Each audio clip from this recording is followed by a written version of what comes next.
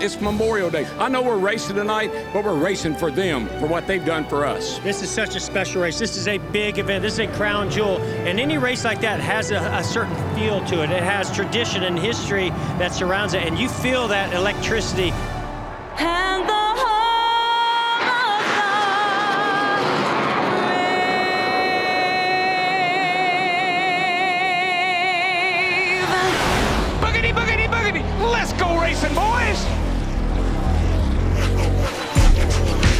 Kyle Busch has led over a thousand laps at Charlotte Motor Speedway. Nobody else has led that much here without a points paying victory.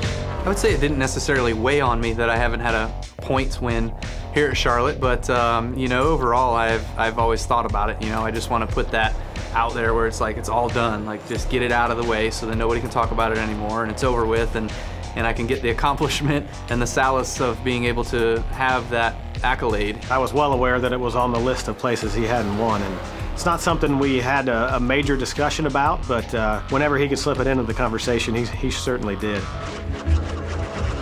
Kyle Busch gets his third stage win of 2018. Kyle Busch won stage number one. Now he wins stage number two in the Coca-Cola 600. He's led 179 of the first 200 laps.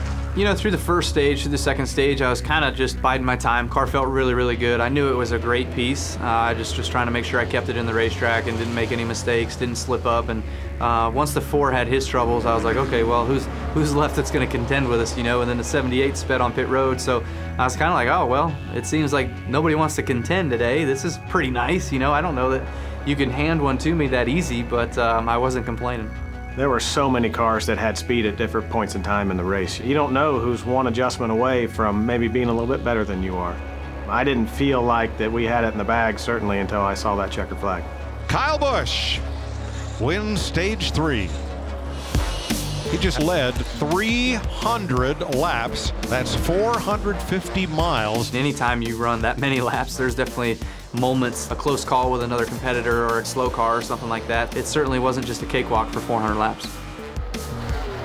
People were hitting pit road a little bit quicker than uh, the lap that we had in mind. You're out there, you're cruising around, and then all of a sudden guys are getting tires and they're coming out of the pits and they're blending right up in front of you and it's disturbing your air and it's kind of forcing you into different lines.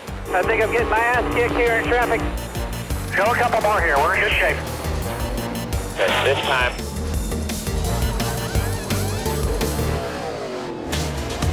Kyle Busch and his team have put it all together tonight. This race was such a dream come true because I just remember being a little boy, seven, eight, nine years old. Back in the day, before me being seven, eight years old, it was more man versus machine. And is the man going to make it? Is the machine going to make it? What's going to happen? We go to the racetrack trying to win every single weekend, and it's not like we can prepare more or do more to make that happen. Uh, but when it does happen, the victory is even, even a little bit sweeter.